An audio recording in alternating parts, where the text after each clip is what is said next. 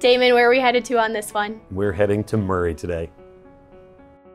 So Damon, I love this area of Murray because it's so charming and you're so close to the freeway and also a whole bunch of shops and you have a Costco right around the corner. That's right. Everybody needs that Costco, don't they? But yeah, this has this is centrally located right between 9th and State Street and off 53rd. What a great little uh, place this is, especially for someone who's looking for a first time home or maybe someone who's downsizing. It's a one bedroom, one bath, about 600 square feet. But it's got those, it's on the main floor, so there'll be easy access. And it comes with a uh, great HOA, which includes a workout room and a swimming pool. Yeah, this could also be a fantastic rental. Do you know if they allow that? Yes, they do. Yeah, this could absolutely be a great rental for someone who's looking for an investment. Um, and it's got, you know, it's been updated. Kitchen's been updated. Um, the bathroom has been updated. And they've really taken good care of this place. You'll see that when you, when you enter into the home.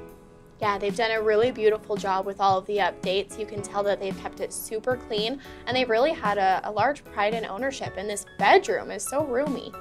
Yeah, it's beautiful, isn't it? They've taken really good care of it. It's got a great little walk-in closet um, behind there. And the bathroom, when they get to that, eventually you'll, you'll see how spacious it is, especially for a one, one bedroom um, unit. This, this has it all, really, is what you're looking for.